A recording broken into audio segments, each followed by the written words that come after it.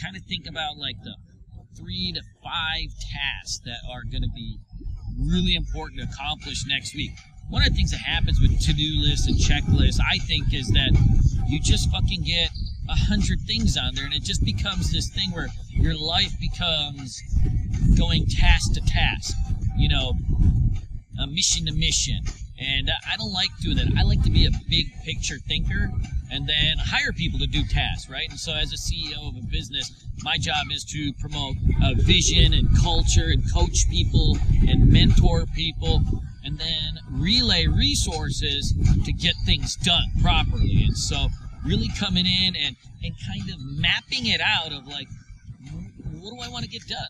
You know, where and how do I want to accomplish this? Uh, I think is huge. And so I like to kind of come and uh, sit outside